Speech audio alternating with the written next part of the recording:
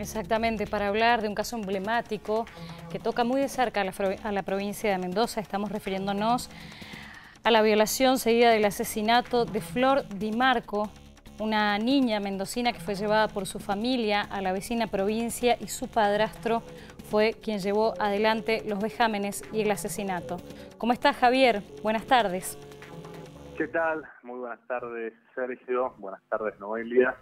Estamos justamente, como vos presentabas hace instantes, con esta información, con este caso que no solo conmovió a Mendoza, sino también a San Luis, con esta, el asesinato de esta pequeña Florencia Di Marco, y ya a dos años de lo que fue aquel terrible hecho, ya está la fecha para el comienzo de lo que será este juicio oral, que será el 8 de abril, y que busca dar un poco de claridad en estos hechos tan confusos que también han ocurrido con el suicidio por mm. parte de Lucas Gómez en la penitenciaría de alta seguridad Pampa de las Salinas, de la provincia de San Luis.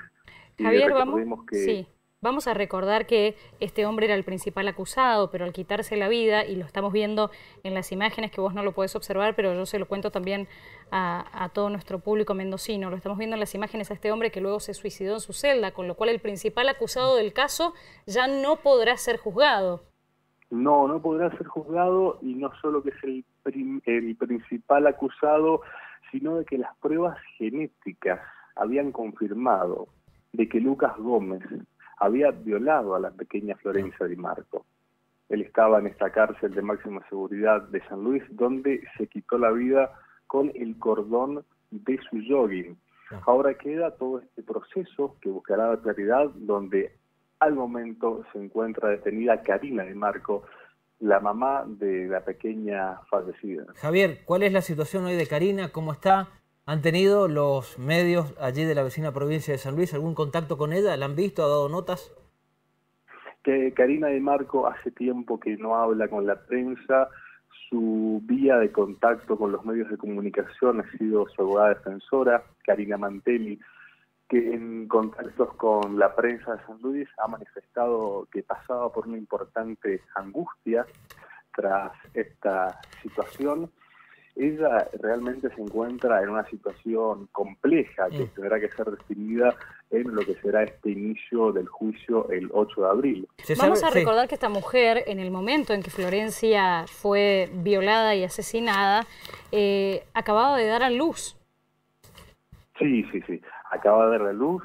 Era una situación realmente compleja porque también tenía otros dos pequeños hijitos que se encuentran en custodia de su familia de Mendoza, justamente, y se montó toda una escena bastante compleja, porque inclusive nosotros, los periodistas de San Luis, la policía de la provincia de San Luis, seguían el caso con Lucas Gómez, con eh, Karina de Marco, buscando a la pequeña, con la búsqueda. Eh, se puede ver a Lucas Gómez hablando a la cámara diciendo que la pequeña vuelva. Esto es en relación a que en principio lo que se denuncia es la desaparición, cuando esta familia de Palmira había comenzado a vivir en eh, la provincia de San Luis. Sí, sí, sí, estuvo desaparecida un día entero, eh, según la información que se pudo recabar y el testimonio que brindó la familia, el padrastro fue el último en verla porque estaba a cuidado del padre él solicita el paradero, esto fue el 22 de marzo, ya hace dos años atrás. Un día después, ya el 23 de marzo, la pequeñita apareció debajo de un puente, en una localidad que se llama Saladillo de, San Luis. Para ir directamente... Los testigos de la zona habrían visto llegar el auto, que era un Renault Megane, que justamente tenía el padre eh, Lucas Gómez allí a la zona. Te consulto, para ir directamente al tema del juicio, ¿cuántos testigos van a pasar? ¿Se sabe eh, cuántos días puede llegar a durar? El 22 de marzo va a comenzar este proceso judicial. Se va a estar citando también las maestras de Palmira Mendoza, quienes, según información que nosotros tenemos, habrían manifestado y le habían manifestado a Karina de Marco. El 22 de marzo me refiero a que... Florencia de Marco le había dicho que había signos de, eh, bueno, de no específicamente de violación, pero sí. de algún tipo de abuso. A lo que Karina de Marco habría respondido de que la nena era una mentirosa. Se van a estar llamando estos testigos de Mendoza, que van a estar declarando aquí en San Luis, y es un proceso que estaremos viendo cuál será eh, su duración. Llega dos años posterior, pero sin dudas hay, mucha expectativa de qué es lo que pueda llegar a ocurrir y a quiénes más estarán llamando a declarar. Bien, la madre de la niña es insoslayable, vamos a decir, está acusada de ser partícipe necesaria en esto y por eso se la va a juzgar. Noelia, perdón, no te escuché. Digo, la madre de la niña, la madre de Flor, Karina Di Marco, está acusada de ser partícipe necesario y eso es eh, por lo cual se la va a juzgar.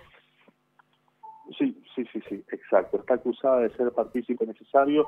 Sin dudas tendremos que, ver qué es lo que está ocurriendo. Él es, está imputada por delito de abuso sexual con acceso carnal en calidad de partícipe necesario por omisión. Muy bien. está en la cárcel de mujeres de nuestra capital puntana. Te agradecemos, Javier Márquez. Podría recibir, según eh, lo que se ha estado eh, informando entre 8 y 20 años de prisión. Ya se encuentra justamente eh, dos años ha pasado en esta cárcel y estaremos viendo qué es lo que sucede. Por otro lado, el fiscal de instrucción había solicitado una pena de 17 años y 6 meses.